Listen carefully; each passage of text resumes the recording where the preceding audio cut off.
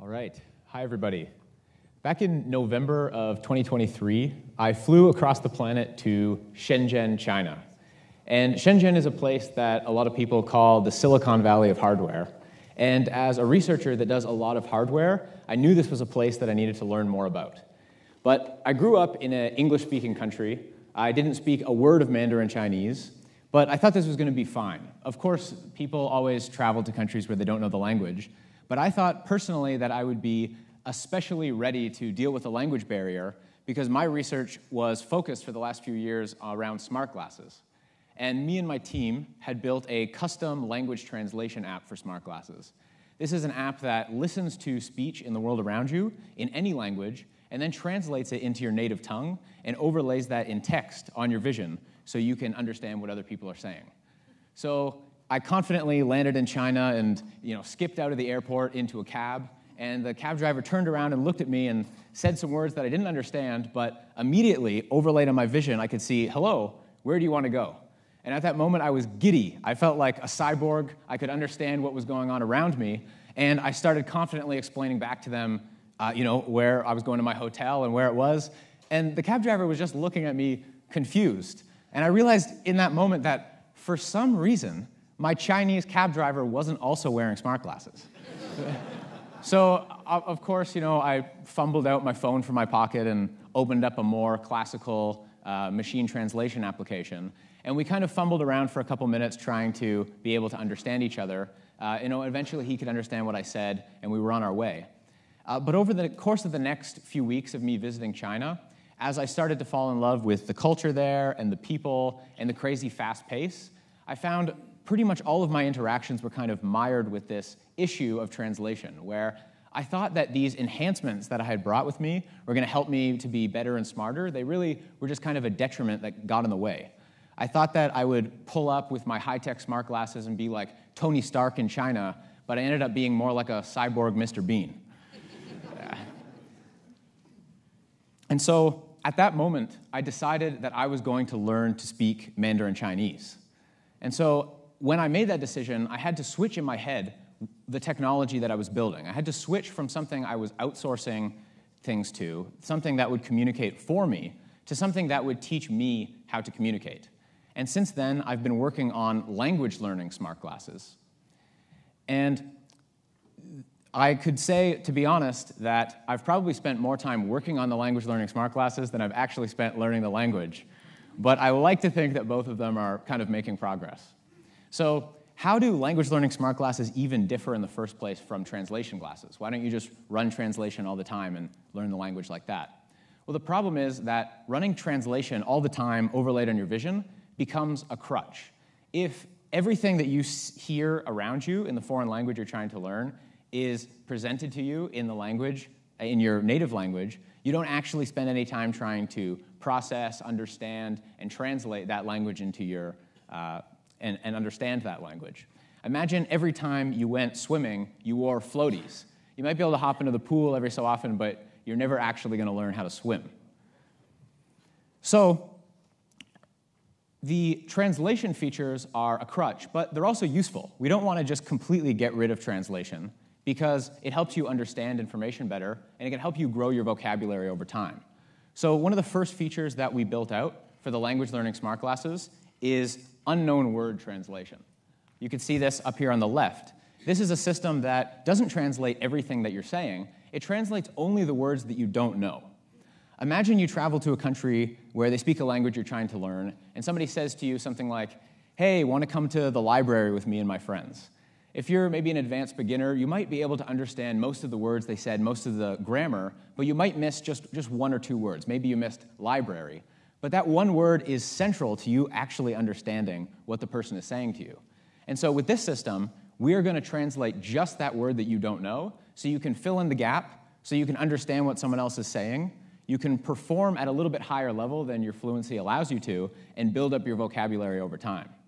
And actually, I'm running this application on my glasses right now, and our friend, the mannequin here, is running it on his smart glasses. So we have hooked up a camera into the eye of this mannequin. And I'm going to show you really quickly.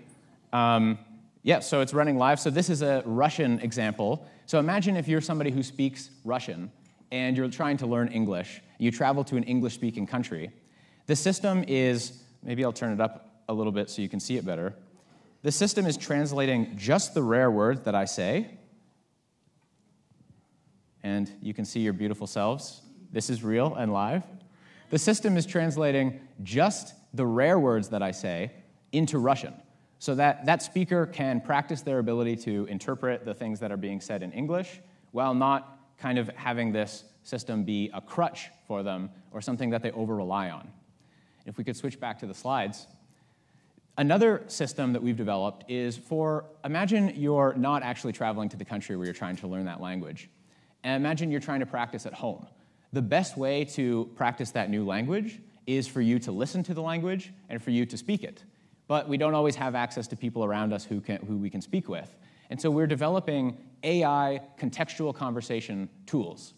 This is a system on your wearable, on your smart glasses, which will detect different times throughout the day when you have a chance to learn a little bit of the language. Maybe you're going for a run along the river, maybe you're doing some errands at the grocery store, and it's going to spark a conversation with you that for one thing, is at the fluency level that you can understand, simple enough for you to understand based off of what you've learned so far. But also, it's going to be contextually relevant. We know that people learn languages better when the information is relevant to the situation that they're in. So the system's going to grab your GPS and information about what you're doing and spark up a conversation about that. Maybe you're walking through the city and it will ask you about the landmarks that are around you. Or maybe you're going to the grocery store and it's as simple as asking you about what groceries that you're picking up. But context isn't just GPS location, it's not just where we are, it's the information in the world around us. And so, that doesn't look right, does it? Um, if we could get this video to play, we've also developed systems which can create an artificial world of immersion. You know, children every day are asking their parents, What's this? What's that? as they try to build up a vocabulary to help them understand what the things around them in the world are called we can create this world of artificial immersion with smart glasses as well. This is a demo from a couple of years ago where we used the point of view camera in glasses to run object recognition on the world around us, and then we translate the title of those things so that we can annotate the world around us with the names of everything that we need to build up our vocabulary quickly. And this area is so exciting to me for another reason because smart glasses are advancing so quickly.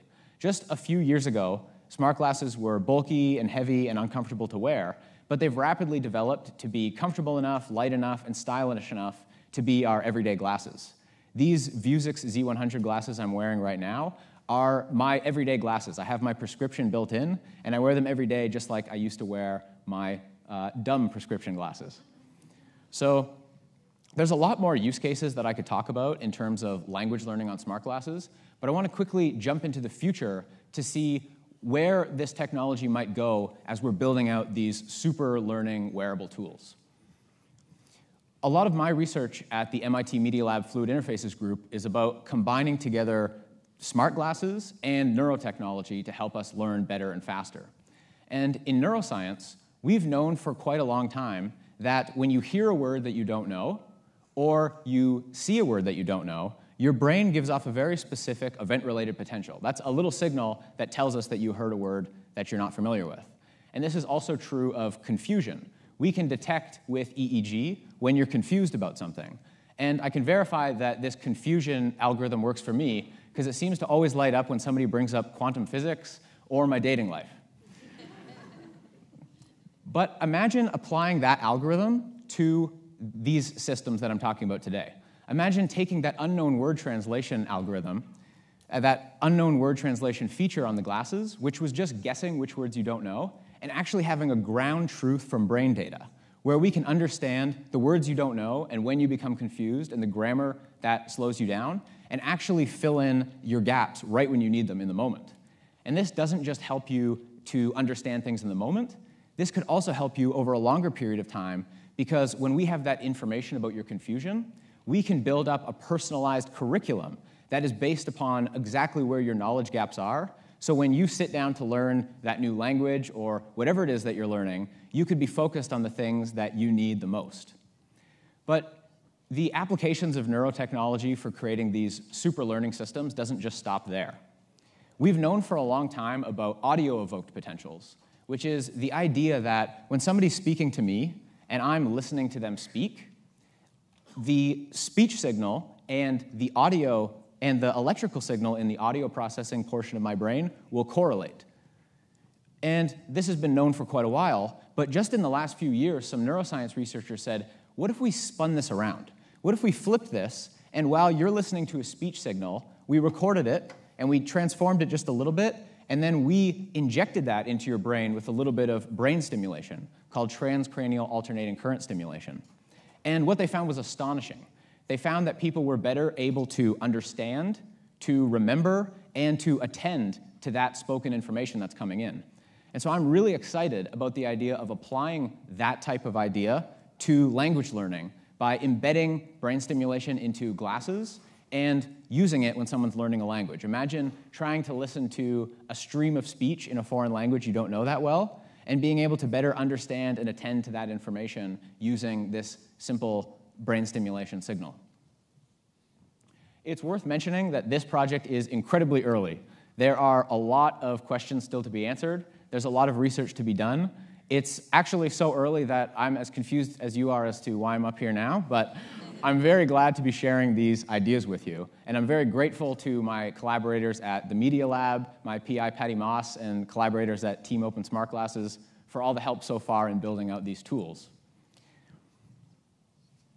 And I'd like to point out that this doesn't just apply to language learning. Language learning is something I'm super excited about myself, but these types of interventions can be applied to all kinds of areas of learning and education and understanding information in general. And I want to point out that today, a lot of us are concerned about the direction that technology is bringing us, especially in terms of our information, our attention, and our learning. People are concerned about the kind of attention ravaging that is happening with social media and concerned about how future technologies and the social media of today is affecting and impeding education of children. But I'd like to present a different narrative, a narrative where we build educational and learning technology that is as addictive as the social media is that we have today, so that people can learn better than they ever have before, and humanity can become more than it's ever been before. Thank you.